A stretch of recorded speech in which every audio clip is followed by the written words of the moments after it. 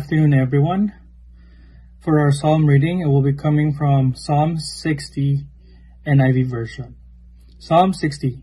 You have rejected us, God, and burst upon us. You have been angry, now restore us. You have shaken the land and torn it open, mend its fractures, for it is quaking. You have shown your people desperate times. You have given us wine that make us stagger. But for those who fear you, you have raised a banner to be unfurled against the bow. Save us and help us with your right hand, that those you love may be delivered. God has spoken from his sanctuary. In triumph I will parcel out Shechem and measure off the valley of Succoth. Gilead is mine and Manasseh is mine. Ephraim is my helmet, Judah is my scepter. Moab is my wash basin on Edom. I toss my sandal over Philistia. I shout in triumph. Who will bring me to the fortified city? Who will lead me to Edom? Is it not you, God? You who have now rejected us and no longer go out with our armies? Give us aid against the enemy, for human help is worthless. With God, you will gain the victory. And he will trample down our enemies. Amen. Good afternoon, church. Allow me to read Psalm 77, verse 13 to 20. It says, O God, your, your ways are holy. Is there any God as mighty as you? You are the God of great wonders.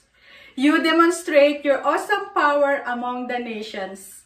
But your strong arm, you redeem your people, the descendants of Jacob and Joseph. When the Red Sea saw you, O God, its waters looked and trembled. The sea quaked to its very depths. The clouds poured down rain. The thunders rumbled in the sky. Your arrows of lightning flashed. Your thunder roared from its whirlwind. The lightning lit up the world. The earth trembled and shook. Your road led through the sea, your pathway through the mighty waters. A pathway no one knew was there. You led your people along the road like a flock of sheep, with Moses and Aaron as their shepherd. Church, sabayan niyo pa rin po kami ngayong hapon na papurihan at alalahanin ang kabutihan ng Panginoon. At sabi nga sa Psalm 77, We are comforted through the hard times, especially sa ngayon na pandemic pa rin tayo, by remembering God's help in the past. Recalling God's miracles, it is a reminder for us for God's power, protection, His love, and also His guidance kagaya ng ginawa niya sa mga Israelites. So church, sabayan niyo po kaming umawit, pasalamatan, magalak, na may Diyos tayong buhay na dapat natin pasalamatan. Sabayan niyo po kaming umawit, God will make a way.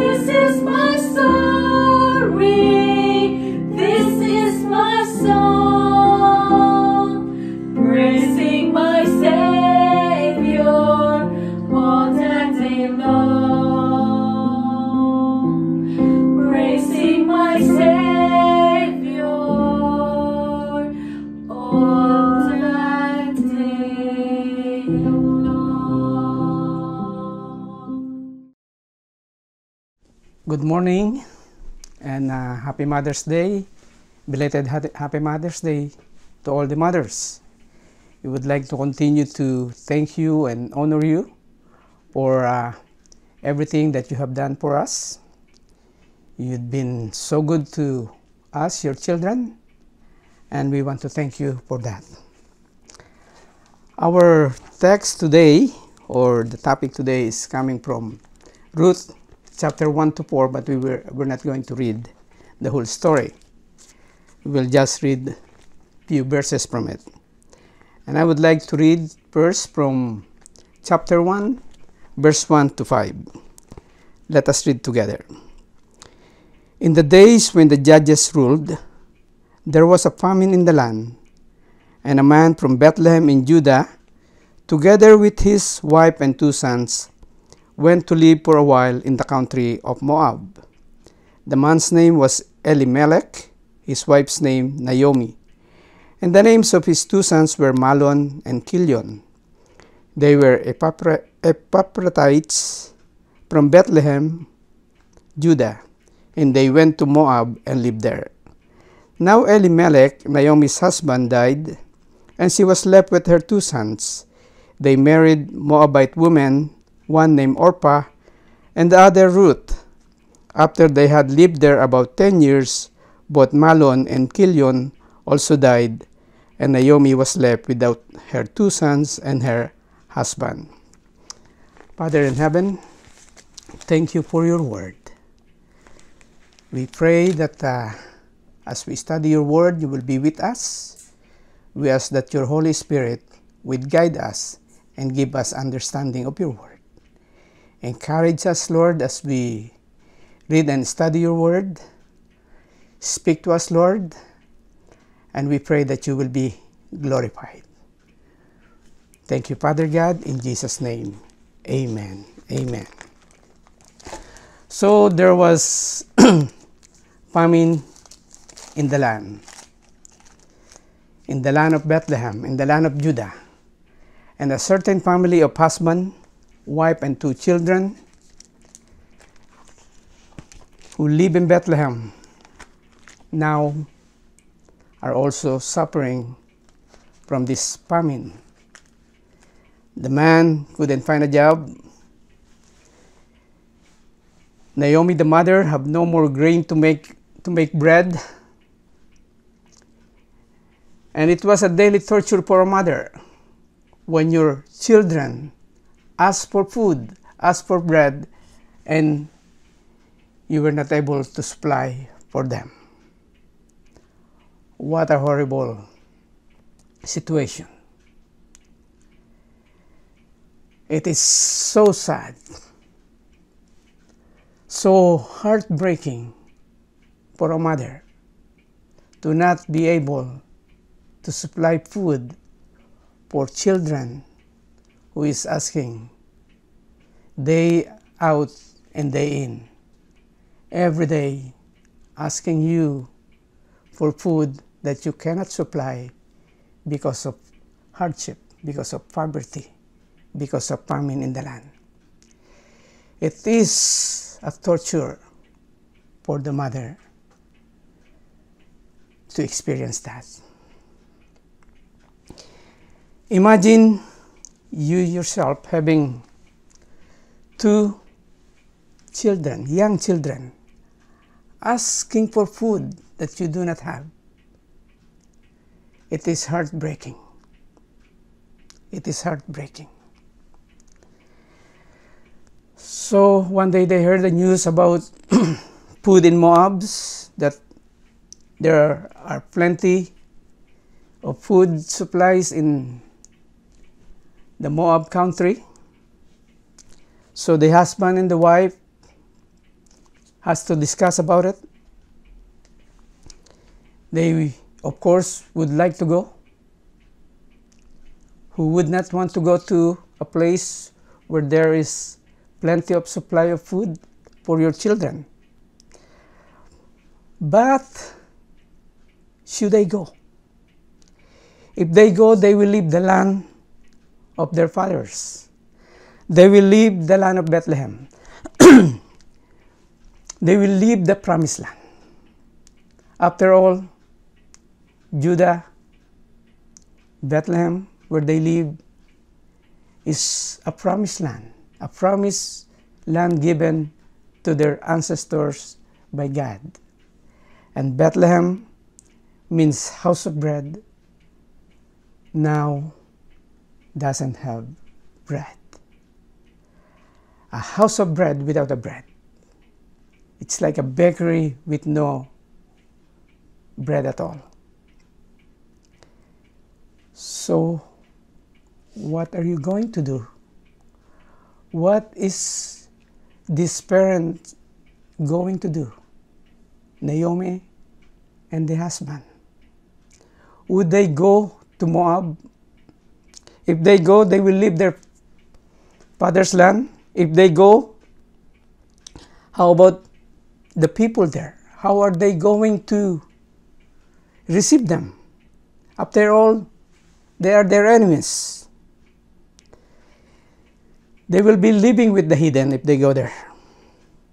What would happen happen to their children? Of course, children will play with them. How are they going to grow up with these people who doesn't acknowledge their God? There's so much uncertainty. There's so much question. They were probably arguing a lot. Every day, every night. There will be talking about what will happen. It is uncertain if we go there. But if they don't go, they will starve. Their children will, will starve. If you are married with children when you leave our country, Philippines, many of you can relate to this situation. Many Filipinos left the Philippines for their children's future. And you wanted to make sure that your children will not starve, that our children will have a better future. But there are always a lot of questions. Your mother, your father may be old already and you're going to leave them. They may be sick and you will be living far away from them. But can you ignore this opportunity when it comes? When you can plan a better future for your children? So we migrate and live in a foreign land. So were Elimelech and Naomi and these two sons of them, Mahlon and Kilion. They went to Moab and lived there. Like us, the husband and father was able to find a sufficient work to keep the family from actual starvation. Naomi was busy looking after the house and children the children were playing were playing with the of course with the children of Moab of the Moabites, the heathen. Children will play with anyone anyway. They don't have any barriers like us. They don't understand barriers of religion or color or race. It is natural for children to play with anyone. So these two Jewish boys grew up playing with the children of the heathens. Now life seems much better for this family. They began to somewhat feel at home. The boys were growing up happy with foods on the table, playing with kids, their, the children of their neighbors, so everything seems to be getting better and well for this family. But now, in verse 3, we read that Naomi's husband died. And Naomi was left with his two children, with his two sons. Imagine the pain, Naomi. Husband died and she was left with two sons. Imagine the pain. Imagine the pain of being a mother alone without a husband in a foreign land. A single mother in a foreign land with two young sons. Imagine the feelings. How is she going to raise these two kids by herself? And she took the responsibility of being a single mother in a foreign land, raising her children by herself. Raising her children by herself. Now in verse 4, it reads that they married Moabite women, one named Orpah and the other Ruth. Later on, the boys grew up and they took wives from the women of Moabites. For a Jewish parent, for their son to take a wife from a non-Jewish is a grief to themselves. It's displeasing to them. If you with God, if you will read Genesis 26 verse 34 to 35, you will find out that it is displeasing for them. It is a source of grief for a Jewish parent to have a daughter-in-law that does not belong to their clan. In Genesis 28, it reads there that it was displeasing to the parents.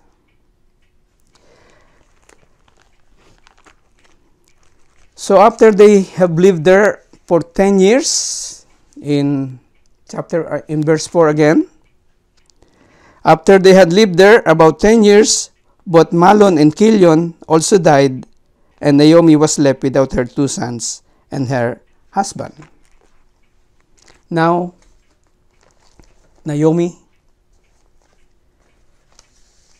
is left without a husband and without a son.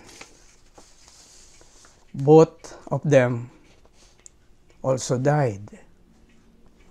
Imagine the grief of Naomi. Her husband died and left her a widow with two sons in a foreign land. Her two sons married a Moabite woman. Not only that they don't belong to their people and religion, but they were also hidden. They don't acknowledge their God. Then a short time later, both her sons died also. She was left with two widowed daughters-in-law. Now, nothing to keep her from going back to her homeland. Nothing to keep her to go back. So in verse 6 to 18, Naomi decided to go back to Judah. She decided to go back to Judah. In verse 9, verse 8 and 9, she told her two daughters in law to go back to their mother's home and she prayed for them. Prayed for them. Let's read that again. Verse 8 and 9. Then Naomi said to her two daughters in law, Go back, each of you, to your mother's home, and may the Lord show kindness to you as you have shown to your dead and to me. May the Lord grant that each of you will find rest in the home of another husband. Then she kissed them, and they wept, they wept aloud. Naomi decided to go back to Judah. And she told her daughter to go back home to their mothers, and then she prayed for them. She, in all her grief, in all her loss and sorrow, she never forgot God. She may have many questions, but her faith in God remains. She still pray. She still believe in the sovereign God. She kissed them goodbye and they wept aloud. How can a daughter in law love a mother in law that much? How is it that this daughter in law will weep aloud, crying so much, and did not want to be separated from their mother in law? This daughter in law are willing to leave their homes, their own parents, and hometown to be with their mother in law. How? Why? Why would they do that? And in verse 14, we saw in verse 14, I would read it for you. At this they wept again. Then Orpah kissed her mother in law goodbye, but Ruth clung to her. They kissed goodbye again, and they were weeping again. They were weeping again. And Ruth clung to Naomi. Orpah left, Ruth stayed. And Ruth says she will stay with Naomi. She resists the separation. Hold on tightly to Naomi. And in verse 15, Naomi said, Look, your sister in law is going back to her people. She's going back to her God. But Ruth clings tighter. She clings tighter to Naomi and she made a compassion, a beautiful confession of love. A love for a daughter from a daughter-in-law to a mother-in-law. She made a compassion of choice. Your people will be my people. And she also made the confession of faith. Your God will be my God. Verse 16. Verse 16. Let's read that. But Ruth replied, Don't urge me to leave you or to turn back from you. Where you go, I will go, and where you stay, I will stay. Your people will be my people, and your God my God. Where you die, I will die, and there I will be buried. May the Lord deal with me, be it ever so severely, if anything but death separates you and me. What a beautiful confessions of love, a confession of choice. It is a confession of faith. What would entice a young daughter in law to leave everything home, family, country, and culture to follow an aging mother in law to a country and people she never knew? To confess, to to God that she never knew.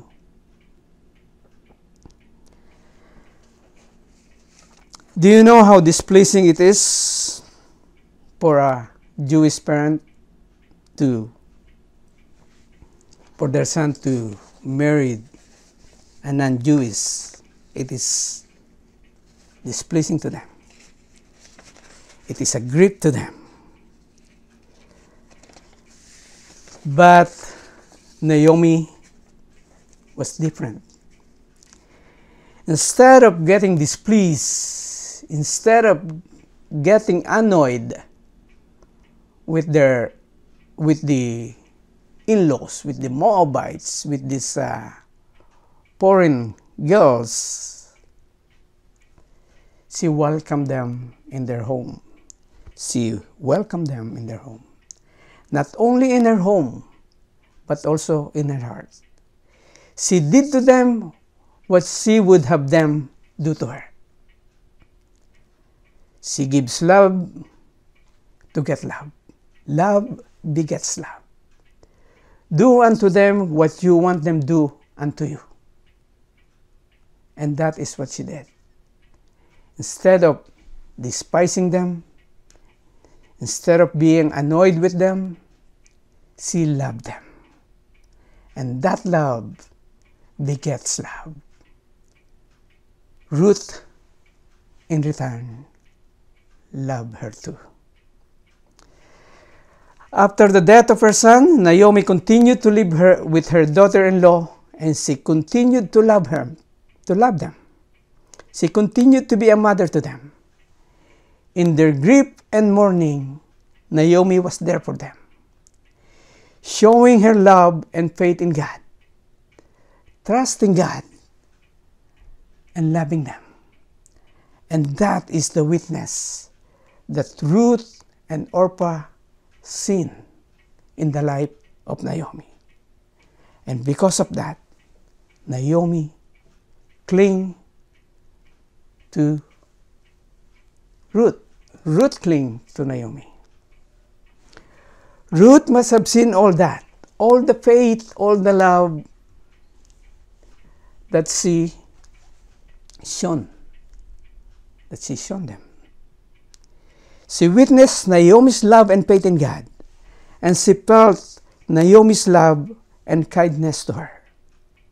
And that is all because of Naomi's faith and love for God, that she was willing to leave her own country and her own parents and to be with Naomi.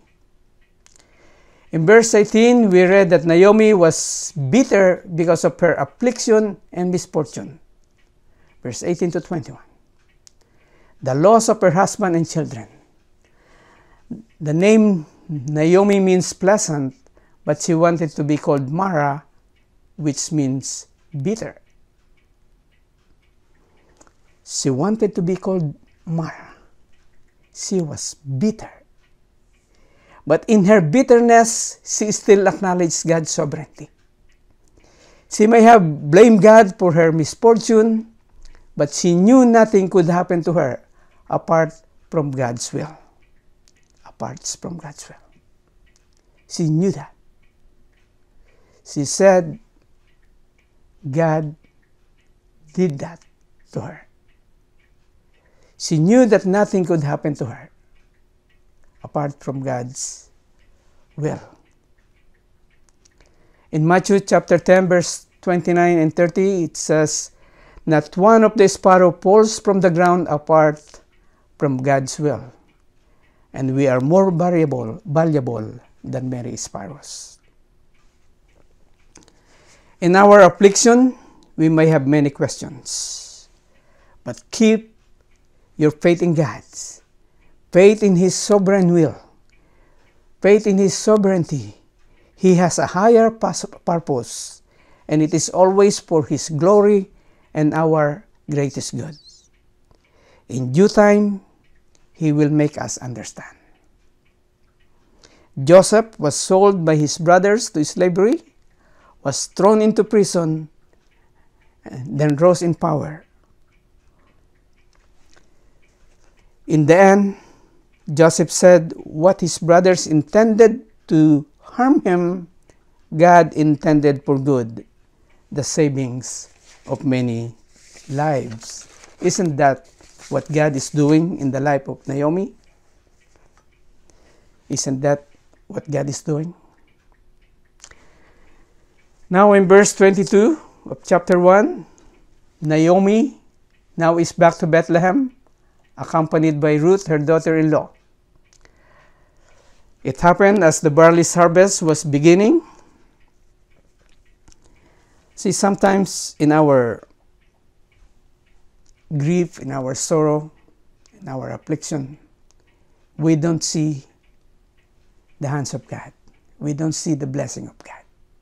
Ruth is a blessing from God to Naomi, but she wanted to leave her in Moab. But God did, did not allow that because Ruth is a blessing to, Yo, to Naomi. Ruth will not be a burden to her. She will be the support of her mother in law. So she took upon herself the task of a gleaner.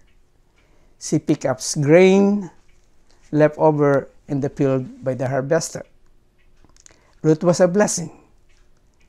Naomi didn't see that in her bitterness. And sometimes we are the same. We don't see the providence of God in our bitterness, in our sorrow, in our affliction. Now, in chapter 2, we see the providence of God. It happened that the field which Ruth went to glean belonged to Boaz, who happened to be relatives of Elimelech, the husband of Naomi. And Boaz noticed her and asked her who she is. Boaz was kind to her and gave her favor. He even asked her to stay in his field so that she will be protected. Now, in verse 2, in chapter 2, verse 19, her mother in law asked her, Where did you glean today? Where did you work? Blessed be the man who took notice of you. Naomi find out where Ruth went to glean, and she said, The Lord bless him. In verse 20. Because he has not stopped showing his kindness. Now Naomi is seeing the blessing of God. And she said, God, the Lord, has not stopped showing his kindness to the living and the dead. God is always doing something in our lives. She was doing something in the lives of Naomi. He never stopped working. God never stopped working for us. Even when we don't feel it. Even when we don't see it.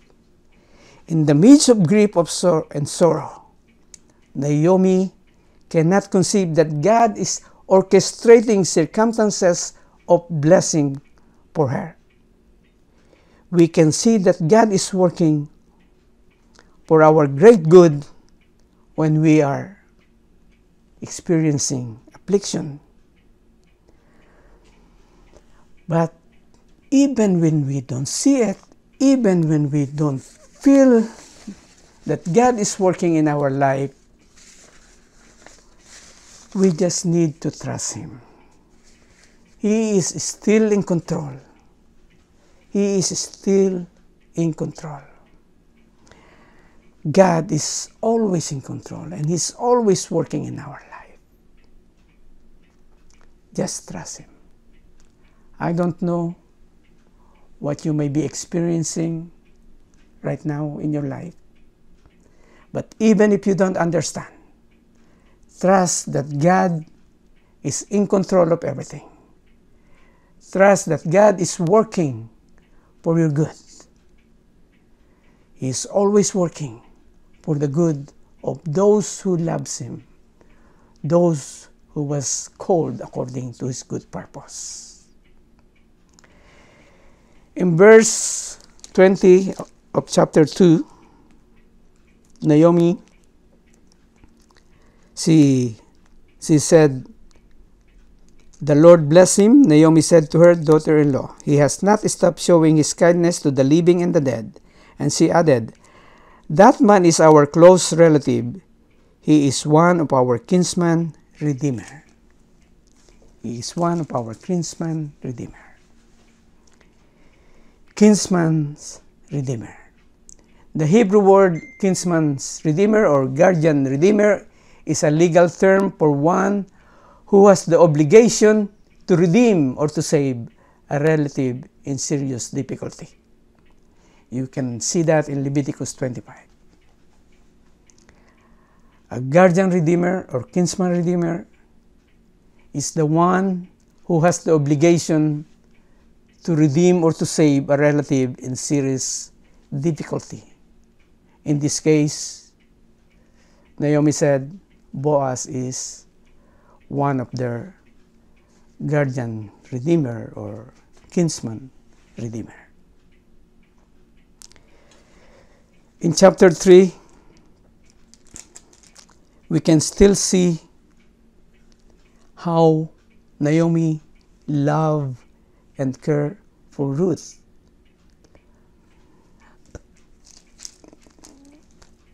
Chapter 3, verse 1. One day Naomi, her mother in law, said to her, My daughter, should I not try to find a home for you where you will be well provided for?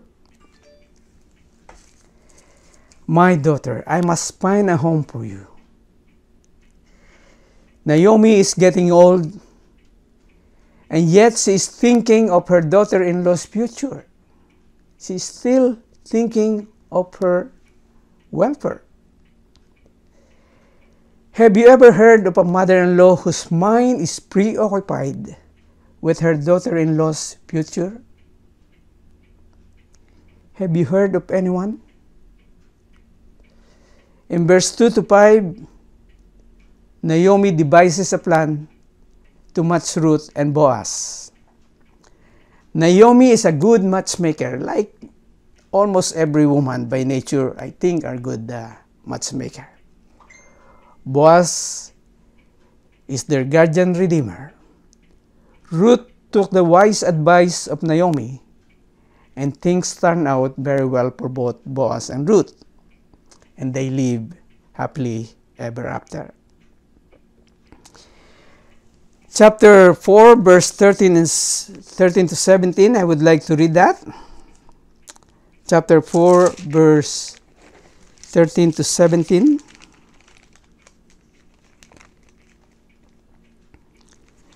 Boaz, Boaz took Ruth and she became his wife. Then he went to her and the Lord enabled her to conceive and she gave birth to a son. The woman said to Naomi, Praise be to the Lord, who, who this day has not left you without a kinsman redeemer. May he become famous throughout Israel.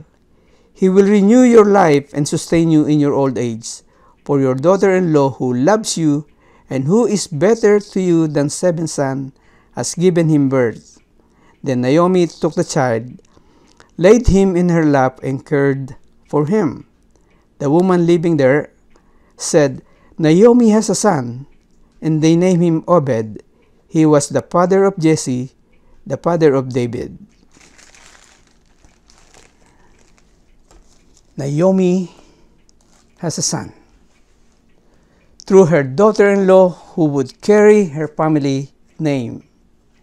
Her firstborn grandson would be the grandfather of King David, through which Jesus' lineage, our Redeemer, would come. Through the lineage of the son of Naomi, it is interesting that the Bible didn't say the son of Ruth. The Bible says the son of Naomi through her daughter in law. She would be the grandfather of King David through whose lineage Jesus Christ, our Redeemer, would come. What a blessing to Naomi. What a blessing to Naomi. We can see God's hand working in her life. Because of poverty, she was driven from her beloved home and country. When things begin to get better in their life and she was settled, starting to settle in a foreign land. Her husband died and she was left with two young children. She took the responsibility of a single mom. Then later, the two sons both got married and died prematurely. It was a bitter loss. It was a bitter loss that brought Naomi back to Bethlehem. She went back to Bethlehem. But in the good providence of God, He used the life of, of Naomi to bring Ruth to be the husband of Boaz,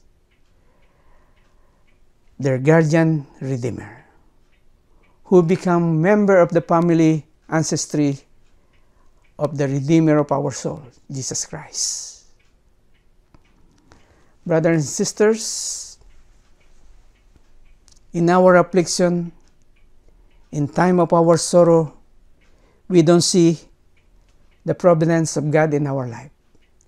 We don't see God in our life, in our deepest sorrow, in our affliction. But God is always working in the life of the believer. Romans 8:28 In all things God works for the good of those who loves him to those who had been called according to his good purpose. We can see that in the life of Joseph. She was thrown into the pit, sold by his brothers to become slave in Egypt. He was thrown into prison, become prime minister of Egypt later on. And then when he saw his brothers again, he told them that what you intend to harm me, God intended for good. So sometimes life is like that. We don't see the good things that God is working, that God is doing in our life because of our hardship and affliction and sorrow. But in times of sorrow, in times of grief, when things are bad, the only thing we should do is to trust God, even when we don't understand. Trust God, even when we don't understand. Love your mother in law, love your daughter in law. Love begets love. Love begets love. Love each other. Things will go well. Things will be okay. Just trust God. Trust God. Father God, we praise you and thank you for the reading and the study of your word. Bless this message, Lord. May you be glorified. We pray this in Jesus' name. Amen.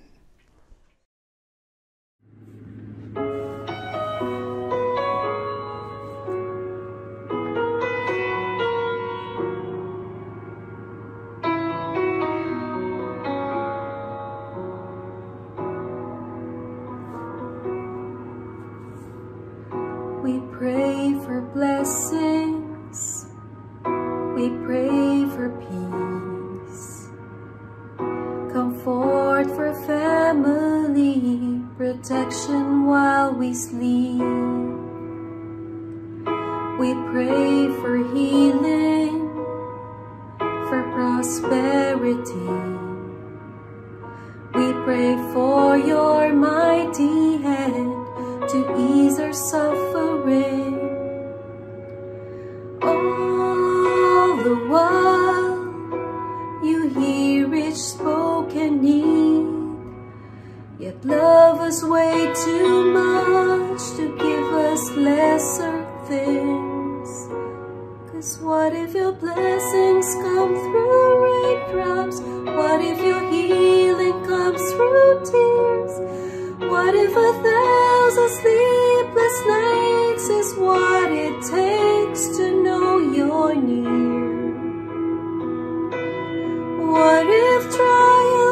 of this life are your mercies in disguise?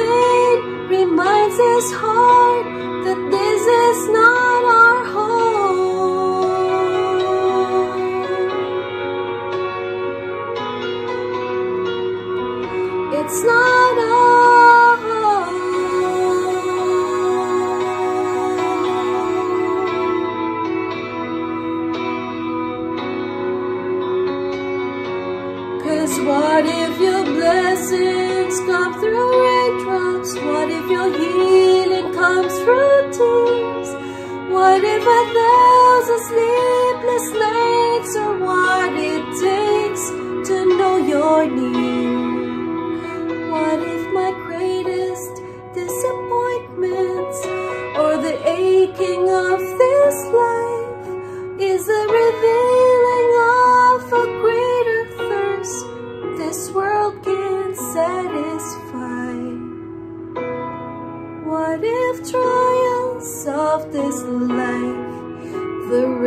the storms, the hardest nights,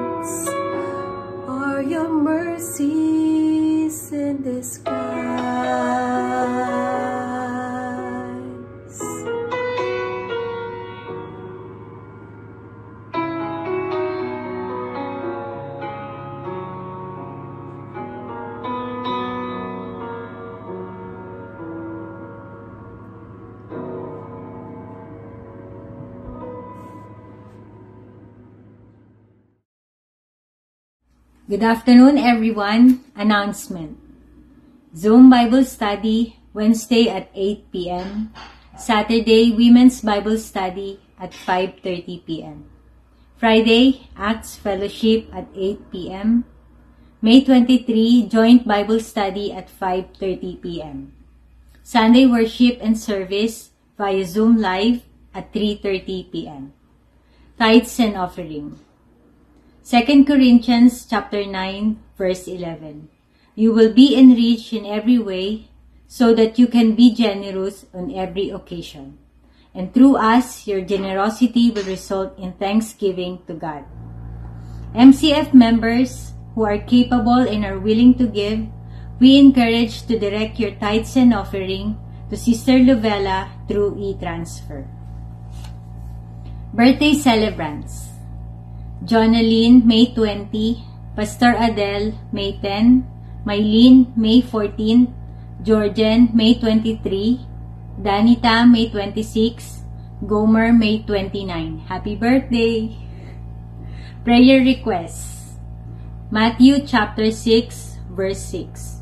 But when you pray, go into your room, close the door, and pray to your Father who sees what is done in secret will reward you.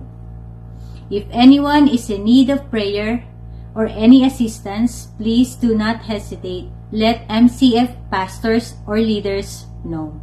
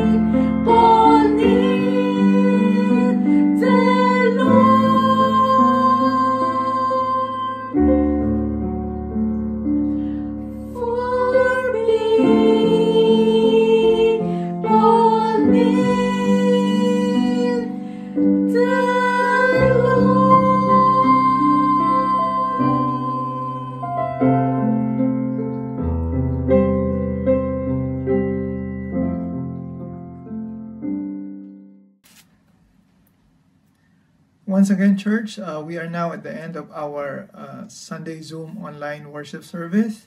And as always, we would like to thank all those people who have participated in our service for today. Uh, special thanks to our praise and worship team and also to uh, the psalm reading and even the announcement. Uh, special prayer and thanks to uh, Pastor Dale for giving us the message for today. And with that said, uh, let us now come to our closing prayer and benediction. So let us come to our closing prayer. Our Heavenly Father God, Lord, once again, we would like to thank you for uh, the message that we have heard today uh, through Pastor Deo. We thank you, Lord God, for that uh, story about Ruth And we just pray, Lord God, that uh, we may be able to uh, take along with us, Lord, the lessons that we have heard from today. And uh, we would like to pray a special prayer for all the, the ladies and the women in our church, especially the mothers, Lord God. Lord, uh, be glorified in their life. Continue to bless them and use them, Lord God, mightily for your ministry. We thank you, Lord God, for your love and for your fellowship. And as we end this service for this week, Lord God, continue to be with us and continue, Lord, to provide your protection, your guidance, and your provision to each and every one of us. Thank you, and we love you. In Jesus' name. Now, church, to him who is able to keep you from stumbling and to present you faultless before his presence, his glory with exceeding joy, to God our Savior, who alone is wise, be glory and majesty, dominion and power, both now and forever. Amen. God bless you all. Keep safe and have a wonderful week ahead.